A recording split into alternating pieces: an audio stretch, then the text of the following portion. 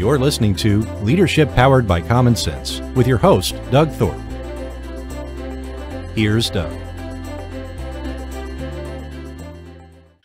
Well, hello again, everyone. You're listening to Leadership Powered by Common Sense. I am your host, Doug Thorpe, and today we're going to interview a uh, guy that's a serial entrepreneur. He's got some interesting things going on right now, but he also has a very interesting uh, journey to tell us about. I uh, want to give a welcome to Paul Baron. Paul, how are you, sir? Good, Doug. Thank you very much. Nice to see you and nice to uh, be introduced to your audience as well. Yeah, you bet. So let's let's talk about uh, the journey first, and we'll kind of save the current situation. Tell everybody a little bit about your story. Like I said, you're as I recall, a serial entrepreneur. You've gone through several chapters in life. Uh, so give us the over, over overview of everything. Well, I'll, I'll, try not to far too far afield and and dissuade your audience from paying attention to anything that might be interesting or relevant. But I am 70 years old, so uh, I don't have to start with Paul was born at a very young age and go back that far. Um, but suffice to say that uh, my journey really began uh, in college. Um, tennis is uh, my passion, and swimming uh, for two athletic pursuits that I still do competitively today. Um, and despite the extra 50 pounds that I've got on since my college days, I, I still am pretty good out there in, in both venues. But nice. uh, that aside, I started stringing tennis rackets for my college. Um, I was a captain of the tennis team back then, and uh, I made money, uh, my spending money at college, supplemented by the good good graces of my parents. Um, but my spending money was found through stringing tennis rackets for the university. And I developed a, quite a following after a couple of years doing that. And on graduation, um, even though my avocation was education and mathematics, and I did get a job right out of college as a high school mathematics teacher, I also opened up a tennis retail shop in the town where I went to college. And uh, and that grew to three, three, three shops um, in the Hudson Valley, New York area, um, and uh, was a, a, fairly success, fairly good success as a small business. Uh, I had a partner. We grew, as I said, from one to two to three shops and uh, serviced the area. And I learned an awful lot. Uh, the most important thing were the hats I liked to wear and the hats I didn't like to wear in the world of business. And that early experience in my early 20s carried over really through today. Um, I like to tell people who ask me, well, what do I do? And I say, well, I'm really not sure what I'm going to do when I grow up. Um, but uh, uh, I've worn all the hats that are necessary for either working for somebody or uh, for owning your own business. And what I mean by that is, you know, as an example, when I was in the restaurant business, I owned a restaurant for 12 years.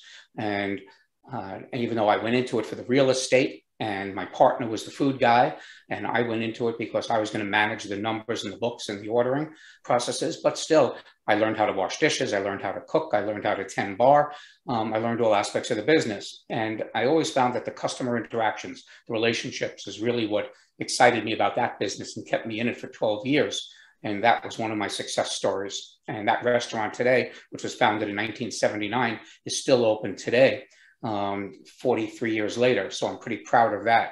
Um, not not the same owner, of course. I sold it, and it's been sold a couple of times, but it still has the same name and the same menu. So that makes me feel really good, and I still go back to it every time I go that's, back upstate New York. If I may interject, that's very rare in the food business. Uh, I mean, occasionally a marquee brand will, you know, get sold once or twice, but eventually some future owner tinkers with it and it loses its appeal and uh, you know doesn't survive the long term transition. So that is quite a quite a feat.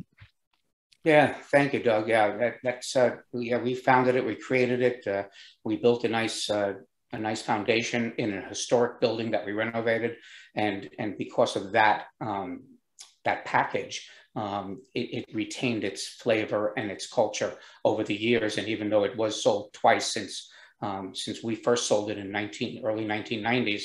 Um, it, it did retain its menu and its and its uh, environment and its look and feel. Do, so do you ever go back there on your own? To, yeah, yeah. I actually I, I, do go back. I live in Wilmington, North Carolina now.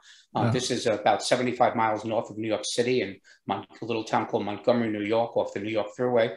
Um, but we go back almost every summer um, to visit with family and friends in New York, and we always make a stop there for lunch or dinner. Nice, yeah, and, uh, that's fun. yeah, the menu is still good, and the place we, you know, memories and history are good, especially when it's a positive experience, as this was. Um, but but with that said, getting back on, on to your, your question about my journey, um, I'd like to tell people who ask, what is Paul going to do? Well, what are you doing? Is I'm fairly industry and product agnostic. And what I mean by that is what excited me about various different businesses. And I've I've done everything from working for large corporations to realizing that I did not like that environment so much, and I really liked the control that I had in my own businesses. Um, but I, have had a software development company. I've had um, that was one of my success stories. Um, I have had um, another restaurant, which was a lesser success than the New York one. Um, that was I call I call those learning experiences, not failures. Um, but with that again, with that said, I I found that I, I really liked the relationship part of things. It was always my job, even at my restaurant, which was an early uh, entrepreneurial venture. Um, my job at the restaurant was really to kind of greet the people and keep them in the place. It was a very popular restaurant. It became very popular. And, and I was the guy who made sure that people got to their seats. Um, sometimes it was much later um, than when their reservation was, and they would get very angry and whatever. But I was able to kind of schmooze them, if your audience is familiar with the term, um, to keep them happy and placated. And we, um, so that uh, because I knew that when my partner, who's the food guy, got them back into the restaurant, that their experience would be wonderful, and they forget about that horrible Paul Baron up front who made them wait an extra hour for their seat. Um, so it was the relationship building that I, that I really enjoyed, and then that carried over when I went on to my software development company, um, which was uh, again uh, developing relationships with um, with businesses in the in the marketing arena. Um, and that got me involved more in the sales and marketing end, learning about my customers, listening to them, what their problems were that I could solve. Uh, the most important thing for any entrepreneur who has great ideas, make sure that you are solving somebody's problem with your idea, uh, that you're not just coming up with what you think is a better mousetrap for no reason other than it seems cool. Um, you know, it has to solve a very real problem. And so, uh, so I, I, listen to people and I listen to their um, their issues and their concerns, and then try to find a solution. Sometimes it was with a company that I had or product or service that I offered. Sometimes it was just being a trusted resource, becoming a becoming that person that they could rely on to help them find the solution if I could not provide it myself. And that too, I found very satisfying. And so I went on to to um, finding other products, primarily from companies outside of the United States um, that were trying to identify their high value customers, markets here in the US to either grow their business or to uh, engage strategic partners or vendors, um, whatever would help them establish presence and growth. And so I did this with a, an Australian self-service dog wash system that I imported. Um, I did it for a Austrian baby bottle manufacturer, a Chinese headband headphone, an Israeli media company, um, and I, I, reached levels of success in all of these ventures, but as a hired gun. And I made enough financially, I did well enough that I could retire, which I did to go and play tennis and swim some more a couple of times during my career. And, uh, but I was always restless and always looking for things. And so one time, about three or four years ago, I was searching, as I always do, and I got approached by a a company who is now a competitor of mine, a company out of Germany, who had a vertical printing machine. I had never seen anything like that. And Doug, I kind of fancy myself as a fairly normal um, American capitalist. Um, if I see something and I um, and I like it, uh, you know, and I can afford it, I, I, and it could it could solve a problem or or, or, a passion of my own, I may may very well try to purchase it. But this was something I had never seen or heard about before which I found very unusual. And so I did my homework. First of all, I could not make the deal with this German manufacturer because they wanted me, like all the other companies, to be a hired gun. And at that point in my life, in my late 60s, I decided that if I was ever going to do something anymore, um, I was going to own it and I was going to uh, be total control of the product or the service. And so, uh, but I love this product. I found it very fascinating. So I did my homework, did my research. I found out who else is doing it. Found out there was only a handful, literally five manufacturers worldwide who had these vertical printing machines who would take digital art and put it on wall surfaces, indoors or outdoors. And I found out that the German was really just a copycat of the technology from the originator, which was a Chinese manufacturer that dates back about 10 years. Um, but all of these companies were confined to Europe and Asia and the Middle East. None of them came across the pond, so to speak, to North and South America. Well, I was fascinated enough. I was able to create the deal I wanted to, I wanted to um, with the original manufacturer of this technology. Um, I'm actually today a co-owner of three patents that I helped uh, refine um, here for the products. And so we have, um, I own the North and South American markets, basically all of the Western Hemisphere. Um, and, and we are growing uh, by introducing the wall printing and floor printing machines um, to audiences in the United States that are either individuals or businesses, entrepreneurs, uh, people who want to establish themselves and be the wall printer in their own communities or territories. We're not a franchise.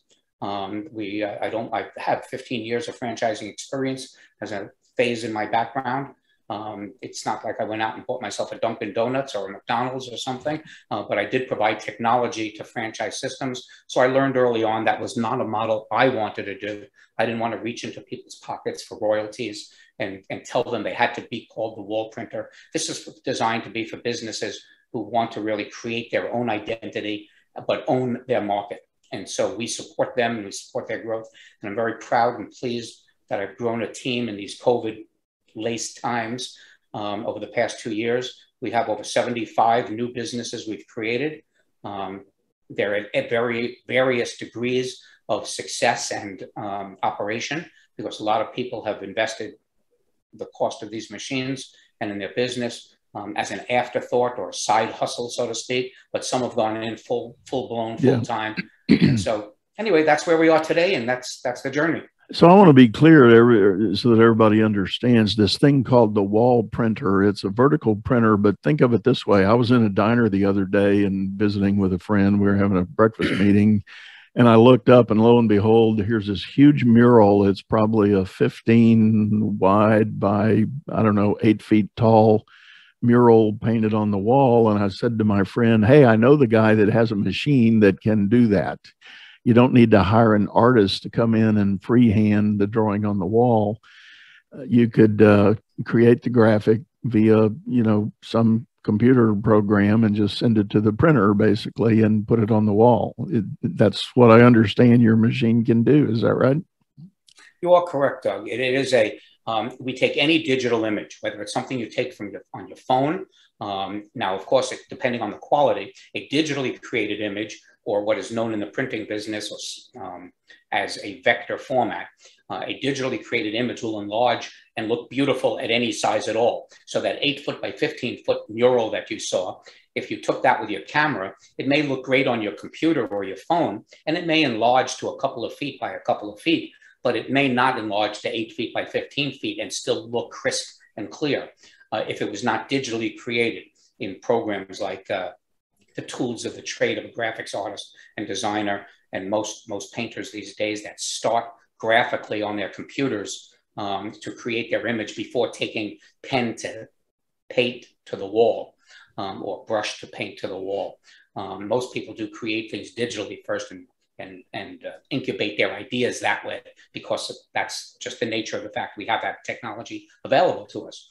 Um, but but you're right that we can take any digital image and put it on any surface. I, if your audience is having video as well as audio, you can see behind me, this is a five foot by eight foot mural. My office staff wasn't nice enough to give me a window in my office like I gave to all of them. So I had to wall paint one on my concrete wall. But that is, that is created with the wall printer on cinder block. The wall printer will go on any surface at all. It could be your regular standard um, home and, and uh, commercial sheetrock wall board, as we call it um, but it could be on cement, wood, glass, tile, uh, makes no difference, uh, whatever the surface is. And the surface doesn't have to be smooth. So again, if your audience can see this, you can see the grout and the crevices in the and the uh, imperf- imperfections in the cement. Um, the same thing goes for something like a, a, door that might have recesses like panels or something. Our printer will move horizontally in and out from the wall on what we call the z axis for uh, those in the audience that remember their algebra days from X and Y, um, we, we integrate a Z axis, which goes horizontally in and out, and it will spray ink in all those crevices and, and do that automatically. So it's a pretty cool Fascinating. machine. Well, in, in, in the world of high end graphics and logo branding and all of those things that uh, companies and businesses and restaurants and auto body shops and all those that are doing now. It's a it's a fascinating tool. And when I was um, browsing this library that kind of hooked us up, Paul, I, I, that caught my eye, and I was just fascinated. I'm a little bit of a techno geek. I've I've always been an early adopter of new emerging technologies, and um, I I saw your device and just was fascinated by it. So talk again about the business model. You said you're you're not franchising uh, with these guys that are expanding the business, but how do they come to you, and what is it you're setting them up to do? Sure. So happy to answer that, Doug. And, and let me let me start by kind of um, rephrasing or, or picking up on what you just said about um, about you know the uh, new technology and something being innovative. What i always tell people when they're exploring this as a business opportunity and i'll get to answer your question directly but what i always tell people is look if you want think you really like this technology from what you've seen like a video of it working it looks really cool and you think that this is something you want to learn more about and you want to actually um, take on as a business it's a good news and bad news story. The good news is you'll be the first one in your community to be doing this because it just doesn't exist the bad news is you're going to be the first one in your community doing this because it's going to be up to you to market it, to introduce it to people. And so therein lies that business model you just asked about.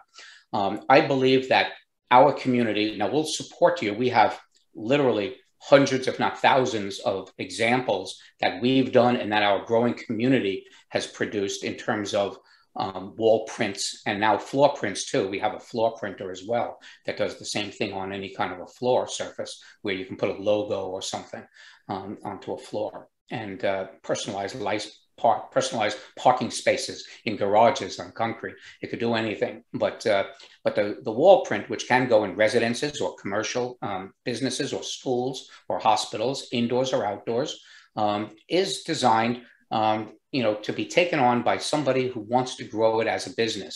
Uh, rarely is somebody buying this as a home hobby solution. It costs twenty-five to twenty-nine, thirty thousand dollars for the machine. So it's not what you're buying. Just it's not your desktop printer. Let's put it simply like that. It's a it's a commercial quality machine designed to be used day in and day out. Requires maintenance.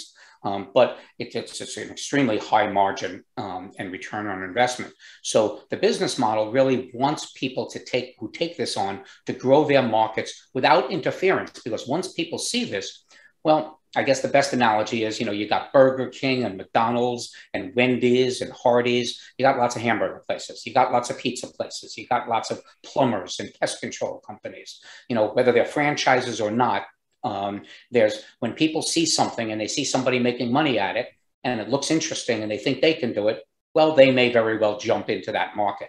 So I believe when you've got something as innovative as this is, and somebody is going to take upon themselves to introduce it to market, they should be rewarded by being able to do that exclusively and not have me sell a machine to just anybody who wants one at that point. So we reward, I don't know if the right word is reward or award, but the person who raises their hand and says, I want Detroit, or I want Atlanta, or I want some little town in Texas or someplace, um, and I want to become the wall printer in this area. Well, they, they purchase a machine, they pay a fee for the territory based on the population of that. We have a formula and it's based on the population. And then they do have an obligation because at that point, we agree not to sell to anybody else, but just to support them. And so they create their own business. Again, not a franchise. They call themselves whatever they want to call themselves Detroit wall printers, or maybe they have an existing business that's a, um, a painter or a general contractor or uh, a photographer or whoever they might be, and that wants to take this on, and they could just make this a part of their business. and another service they provide. And, and then we sell printers only to them.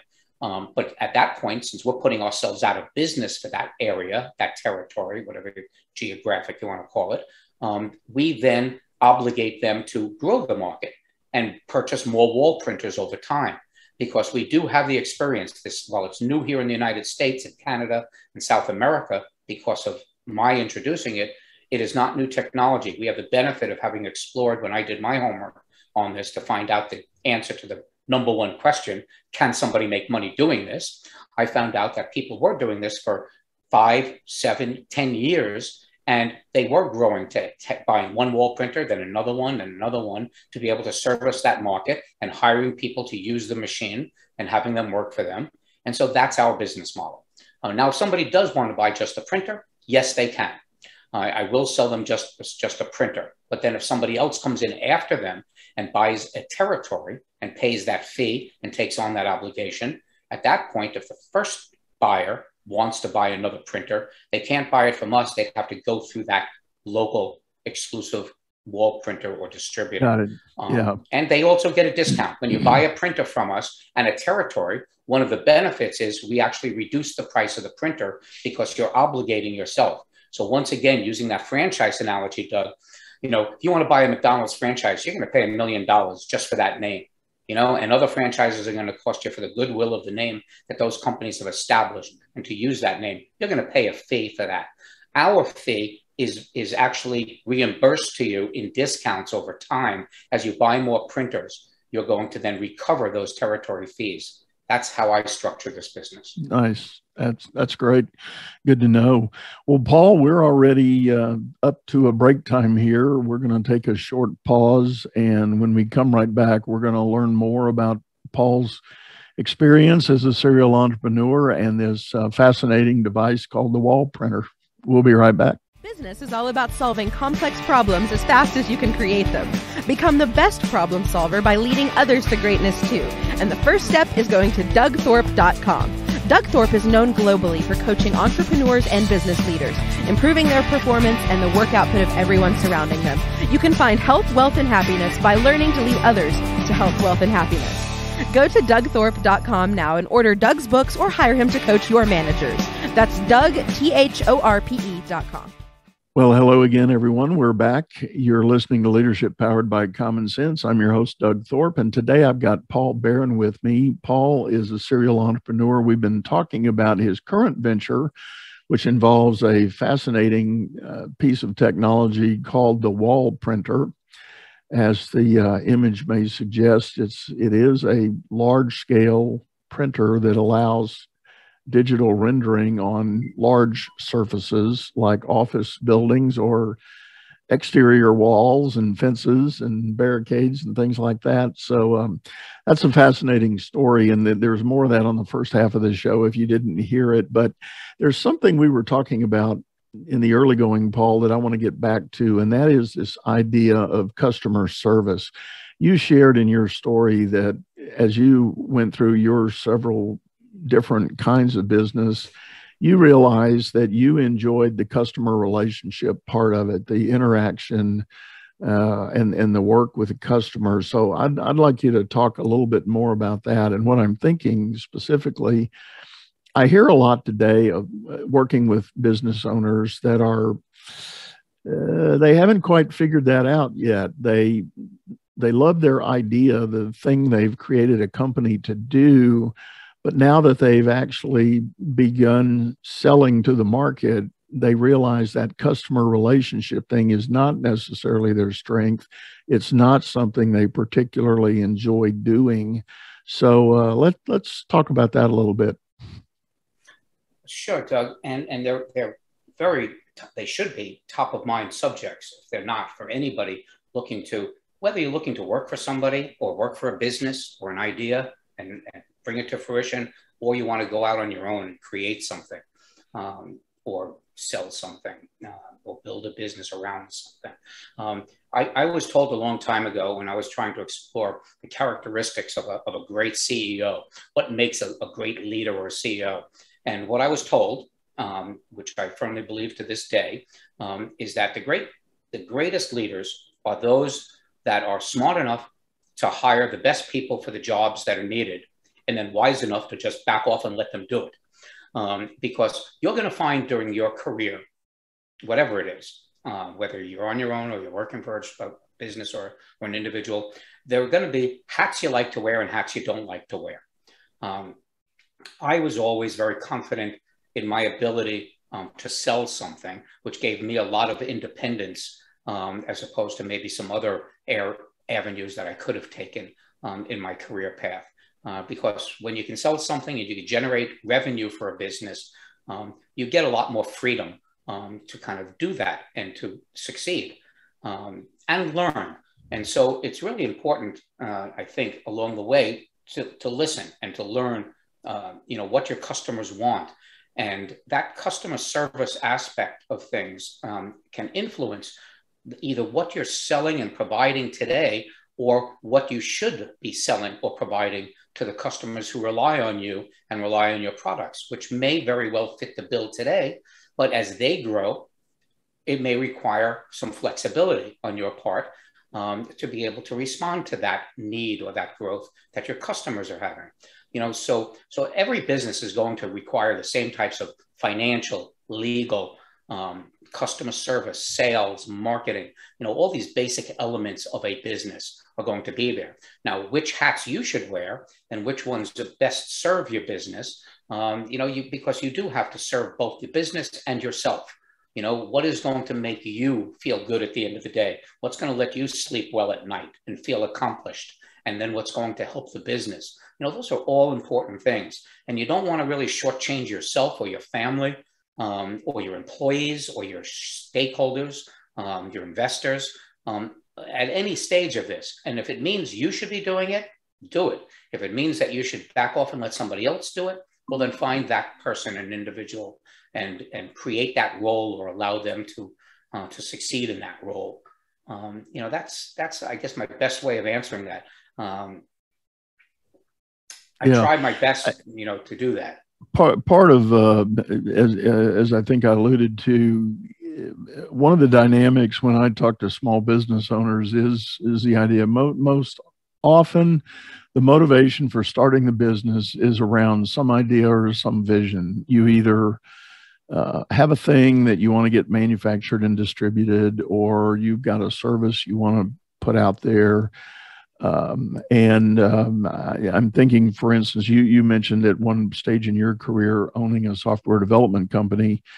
That's a great example of um, a model where the individuals who might have the wherewithal to start a company like that and actually deliver a good service are probably and I'm I'm broadly stereotyping here, but are probably a little more introverted personalities. So the the idea of schmoozing, to use your word, with a with a prospect or a current client, is just not on high on their list of what they would like to do. So uh, the challenge in that is a lot of times in those kinds of businesses, it, it is hard to acquire customers. You um, the general market you serve, the, the prospects might be few and far between, especially for the enterprise type software development solutions. So once you land one, you you sure ought to do the work to keep them there, right? Absolutely. And so, uh, talk to us a little bit about your experience in that realm. You know, doing the right thing to maintain those relationships. Yeah. So so when, when I had uh, a software company, it was uh, founded um, as a result of a relationship that I had with an individual um, who owned um, a stock.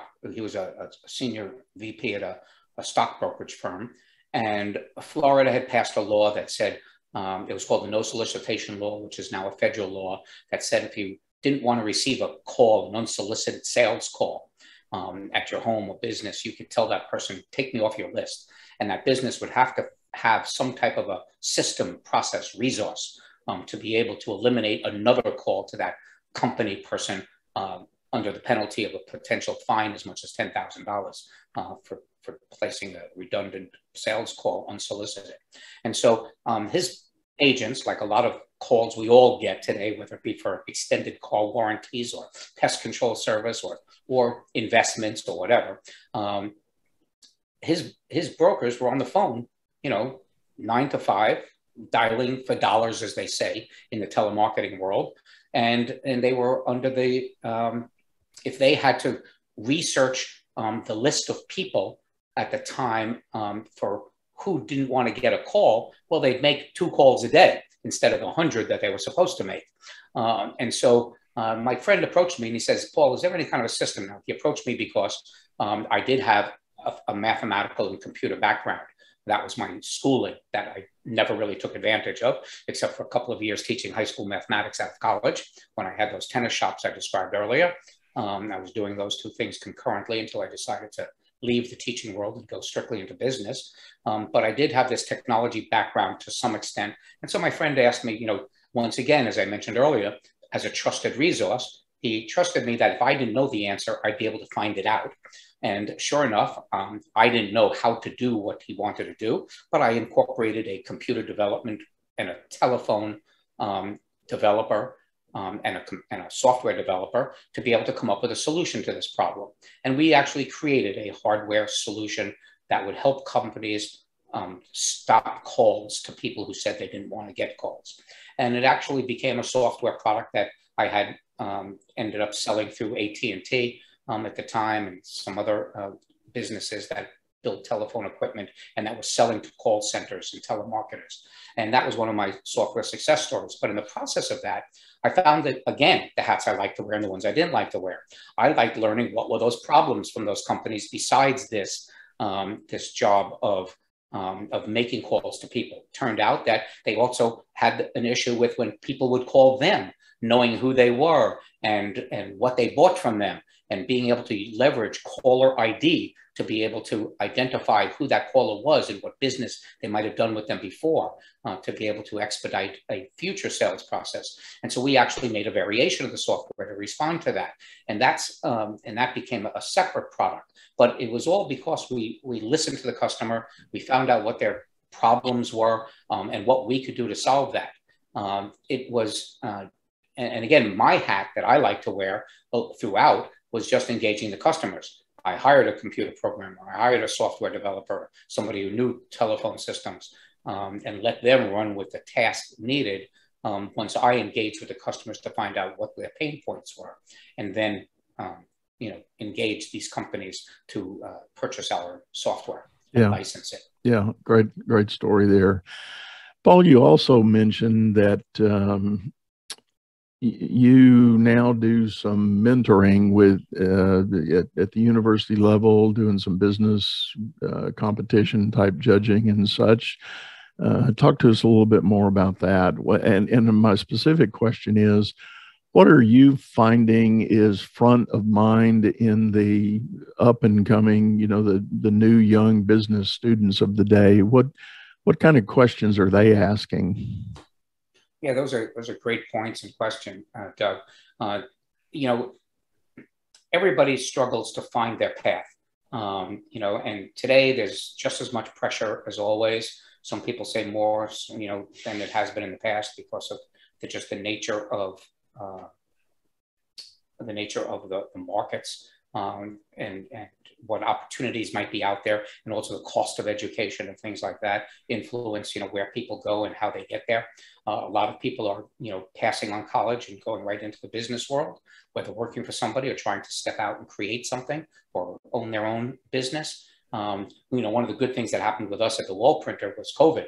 Um, you know, please don't take it the wrong way, you, you know, you, you, your audience, that this was a good thing. Um, it was not a good thing, um, and it still isn't. Uh, but for my business, um, people were at home, and they or and they were either laid off or working remotely, and they were having time to rethink their paths in their life, whether they were students or whether they were people already in the business world uh, for short time or for careers. They were deciding whether or not you know this is what they want to do um, tomorrow. And so they were looking at different things, and we came up as that different thing to a lot of people.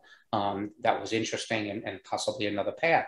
Um, but you know, as I said early on, I'm 70 years old. Um, I do have quite a bit of experiences. The benefit of that um, is that, you know, I do have these stories that I can share. And so it felt only, um, it, it behooved me to, to share those with anybody who really felt it might be a benefit to them.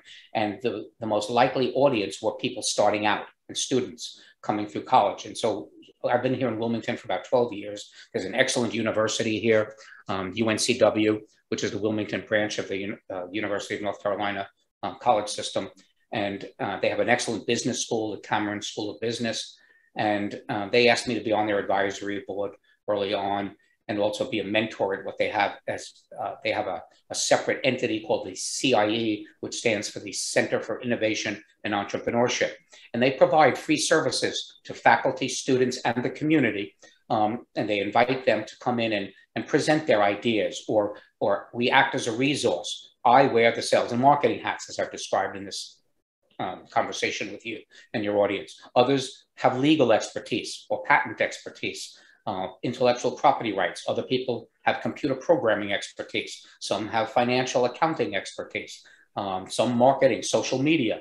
Um, all of these types of people who have similar stories or experiences as I have had come together and offer these up to companies that might need that to grow from here to there and get from their idea, as you described uh, in introducing this, this part of our conversation, um, and then where do I go to with this idea? Either how do I develop it from a technology standpoint, or once I develop it, what do I do with it? How do I find customers? Who should those customers be? How much is it going to cost? Where am I going to get the money to do it? How am I going to eat and feed my family? These are all the questions that people right. are going to ask, and it goes on and on. Right. And and and just how is all that going to be accomplished, and what do I need to think about without without being as overwhelmed or without it being as overwhelming as that just described. Right. and so, right. And so that's you I, know that's what we do here. I think you're really right. I, I, think one of the byproducts of the the pandemic and the lockdown was um, I, a lot of people did reevaluate their current plight and and their sense of purpose and that did cause the uh, traditional workforce to show up as companies started opening their doors again.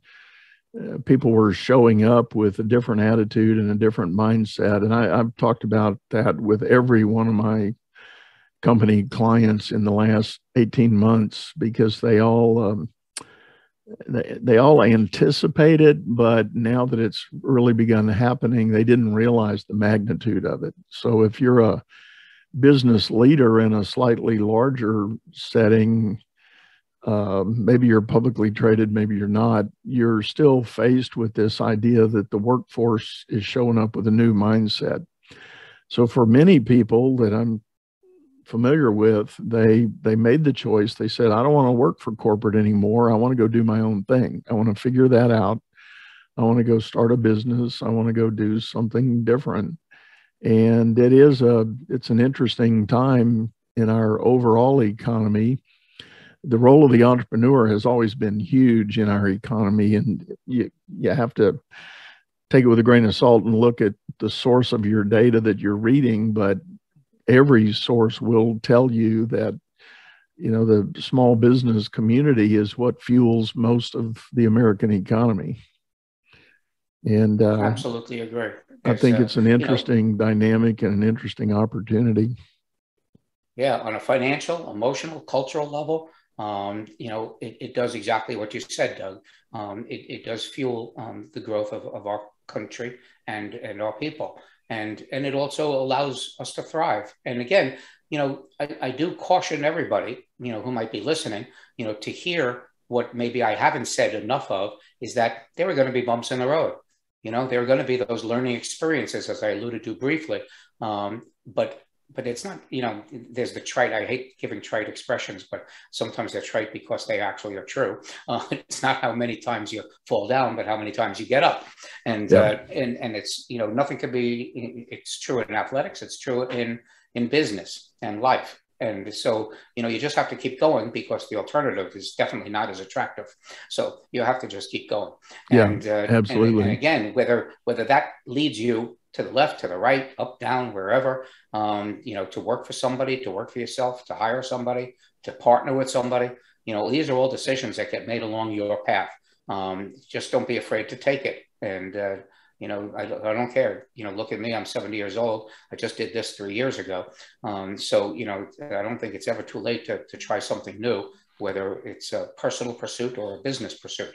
Well, um, I tell the story. I've got a good friend who's now in his 90s, and at the age of 65, he did a pivot. He sold one business he was in and started something totally new. And uh, has already had a 30 year run with that new business when it was new at age 65.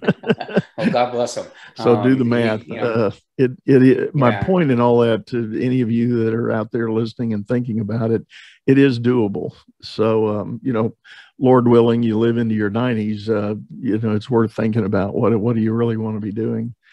Paul, we're yeah, going to need to uh, kind of wrap this up and put a bow on it, tell everybody how they can best get a hold of you if they're interested in learning more about uh, the wall printer or or your great wisdom.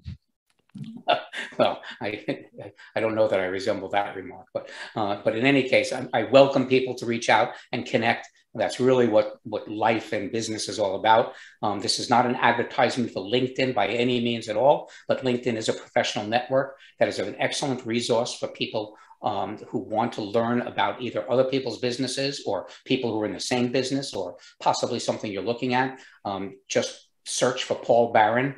Um, uh, you know, on LinkedIn and feel free to connect with me. I'm happy to do that on a personal level um, or professional. If you are interested in the wall printer, um, thewallprinter.com. Uh, you can learn more about it. You can inquire there. Um, we could send you information if it's something that's really of interest to you. Um, but again, both both areas, whether it's for this particular business or just your own personal path you'd like to talk about or or get some feedback from me for whatever it might be worth. Um, I can't guarantee the results, but but do connect with me on LinkedIn. I'm happy to do that. Sure. Well, again, thank you, Paul, for being a guest. It was a pleasure having you on. And folks, we're going to have those references in the show notes here. If you're um, uh, didn't get that down as Paul was describing it, you can just click on the link for the notes to, to go with the show. I want to remind everyone that uh, this episode is available not only in the audio stream that you might be listening to right now, but we are uh, live in video over on the YouTube channel, Leadership Powered by Common Sense. Same name, uh, different channel. So feel free to jump over there and uh, check us out there. And uh, again, there'll be a copy of the show notes present for that. Paul, one last time, thank you very much, sir, for uh, your story and, and sharing with us. Right back at you, Doug. I enjoyed the time with you and your audience, and I hope everybody enjoyed it. I think they, I think they did. So, folks, we're going to sign off. This is another episode of Leadership Powered by Common Sense. I really appreciate you stopping in. And remember, if you're looking for some easy and simple answers to the big business challenges you've got, feel free to reach out to me also online, LinkedIn, and at my own website at dougthorpe.com. I'll uh, hook up with you and, and we can talk some common sense. Goodbye for now. You've been listening to Leadership Powered by Common Sense, hosted by Doug Thorpe. If you would like to know more about the coaching and advisory services he provides, visit dougthorpe.com.